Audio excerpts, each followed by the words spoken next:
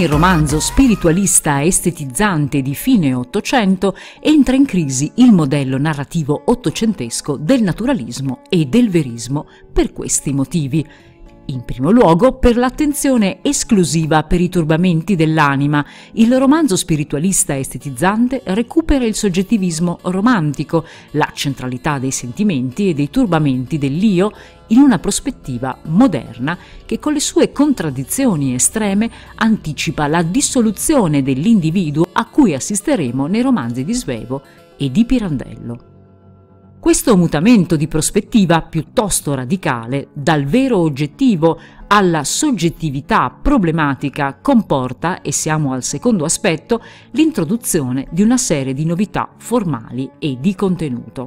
L'interesse per l'intreccio, la costruzione della storia passa in secondo piano e così pure la volontà di ricostruire in maniera esaustiva un determinato scenario sociale. A prevalere è invece l'analisi del mondo interiore di un singolo personaggio. Alla narrazione dei fatti si sostituisce la registrazione di impressioni, di moti interiori e stati d'animo. L'attenzione si concentra in genere su un singolo personaggio, la cui vita interiore viene analizzata a prescindere dal contesto sociale.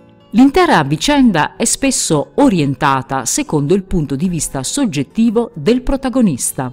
Le tematiche non sono più legate alla rappresentazione oggettiva e allo studio scientifico della realtà, ma sono ispirate all'irrazionalità e all'estetismo decadente. Perché ognuno nella vita tende a realizzare la propria natura. Per questo si nasce. Ognuno dovrebbe vivere una vita piena, completa, dare forma ad ogni sentimento, ad ogni espressione, ad ogni pensiero, realizzare ogni sogno, ogni impulso che noi sopprimiamo intossica la mente. L'unico modo di liberarsi da una tentazione è il cedere. Resistendo, l'anima ne soffre e brama la cosa che ha vietato a se stesso. Non c'è niente che guarisca l'anima eccetto i sensi. Il tempo è geloso di lei, signor Gray. Non sciupi l'oro dei suoi giorni. Viva, non perda niente, non abbia paura di niente. La sua giovinezza durerà così poco e non tornerà più. Invecchiando siamo ossessionati dal ricordo delle squisite tentazioni che non abbiamo avuto il coraggio di concederci. Il mondo è suo per breve tempo. Sarebbe tragico se si accorgesse troppo tardi, come succede a molti, che c'è solo una cosa che valga la pena di avere. La giovinezza. Dorian Gray mai aveva udito l'elogio della follia espresso con tanta eloquenza. Il credo del piacere innalzato a filosofia della vita lo teneva come preda di un incantesimo. Ebbe paura delle idee di Lord Henry e si vergognò di averne paura.